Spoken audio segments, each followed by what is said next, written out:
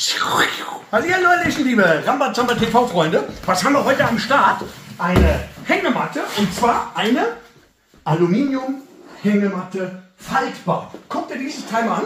Wir hatten das vor ein paar Jahren schon mal, aber in einer einfacheren Qualität. Das ist eine richtig hochwertige Qualität. Wir haben die hier von Hoberg. Schau mal, hier sieht äh, man, was das für ein Teil ist. Es ist ein Rucksack dabei, der ist hier abgebildet.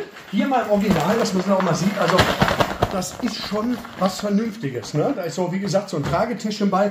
Da kriegt man die rein. 110 Kilo ist das Ganze zugelassen.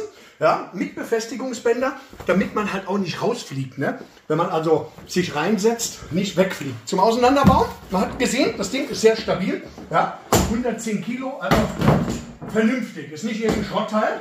Zum Auseinanderbauen geht es ganz einfach. Hier drücken, ausgehängt, drüben drücken. Machen wir auch mal, ne? geht nämlich einfach. Da kann man vorher einstellen, wie weit man sich schaukeln mag. Dann kann man das hier einfach aushängen, zusammenrollen. Ich mache das jetzt mal hier easy, ja, easy going.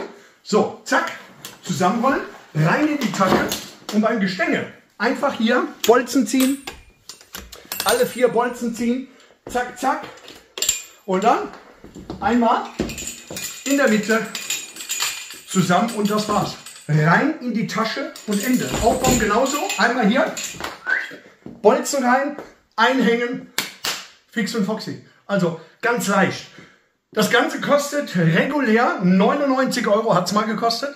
Dann ging es runter auf 79 Euro beim Discounter. Bei uns 49,99. Oben, unten, hinten, vorne klicken und bis dann. Tschüss.